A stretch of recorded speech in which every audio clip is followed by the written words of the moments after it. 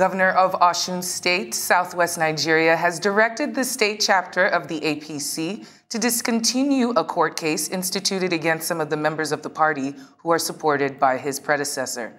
Now, the governor, Gboyega Oyetola, and his statement by the chief press secretary says that the case against seven APC members arraigned in court on Monday for allegedly conspiring and assault should be withdrawn in the interest of peace and harmony within the ruling party in the state. The suspects were arraigned following a clash at the APC secretariat in Osogbo the state capital. And on August 14th, it was between all the members and the supporters of Oyetola and those allegedly belonging to the faction supporting the governor's predecessor, Ralph Aregbesola. The governor condemned the clash and directed the party to withdraw the complaints and take necessary measures to discontinue the matter. For more on the incident and other developments in Osun State, we are now being joined by the state's Commissioner for Information and Orientation, Funke Egbemode. Welcome. Good afternoon. Welcome. Can you briefly talk to us about the situation and how, how has it escalated to something like this? Well, politicians have to do what politicians have to do. Uh, they they have to play politics, and uh, people in politics tend to do uh, to rev up their political activities as you approach um, election. And as we are approaching election, everybody's trying to get the governor's attention. Everybody's trying to get the attention of the government. I just think everybody involved in this matter is playing politics. It's uh, nothing unusual among politicians. Okay, you're calling it politics, but can you maybe help us with some specifics? How ugly was the incident at the heart of this where the Secretariat was attacked? Did anyone sustain any injuries? Um, the we we had just concluded the uh, Ward Congresses and there were those who felt that um, they were not carried along.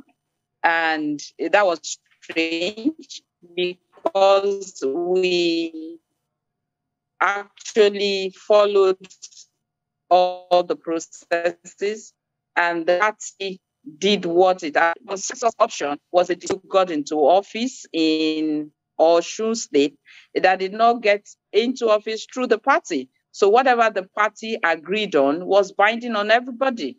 And so we had a consensus uh, Congress across the 332 uh, wards in the state. And normally, when the when you have had um, an event like that, a political event like that, you will also the party also provides a platform for those who are aggrieved, those who are not comfortable with outcomes, to uh, appeal. Before then, the, the, the, committee from the APC National Secretariat in Abuja was here to meet with stakeholders before we went into the congresses. So everybody was uh, involved and everybody, we, we, we got stakeholders to sit and ask questions and get clarifications as to what we are going to do on that Saturday. So we did the Congress. The appeal committee then arrived to listen because uh, that is the process. And suddenly, this group of people swooped on the premises of the APC Secretariat in Osogbo and um, unleashed terror and um, injured people. And that was how it all started. So definitely, uh, for for uh, everything not to degenerate uh, uh, into something worse than we witnessed, the law enforcement agents were uh, they were called in and they calmed the situation, and the appeal committee was able to sit. So of course the the the um, the police will have to do what the police will have to do, and so they they rounded up some people, and um, went to court.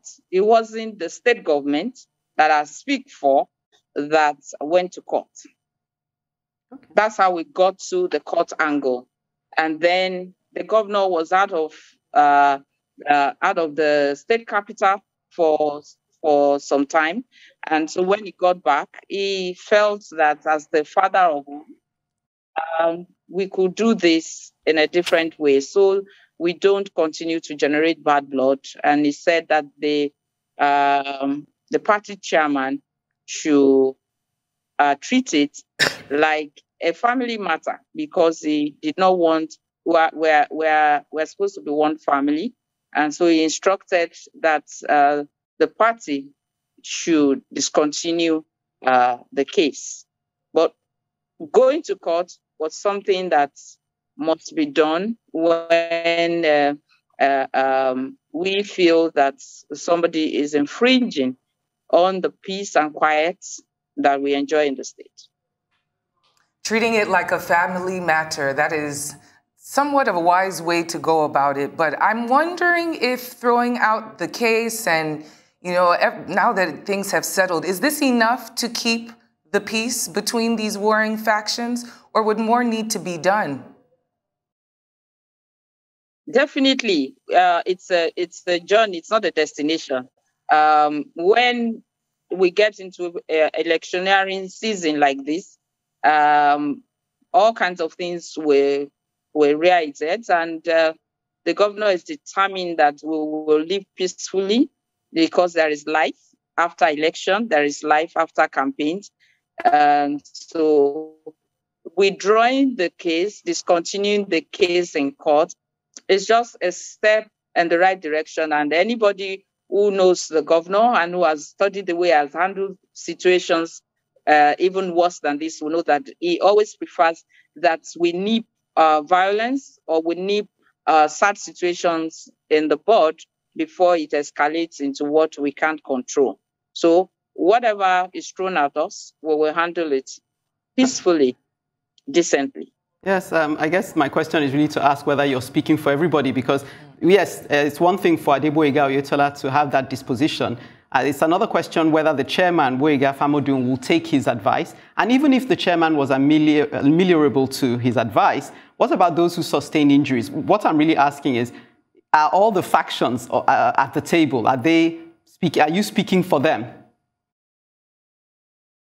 Well, I speak for the government. I speak for the governor. The governor is the leader of the party in the state and he is working with the chairman. It's not every time that um, a family sits around a table to even have dinner that they are on the same page. But reasoning, good, good, good judgment will, will always prevail.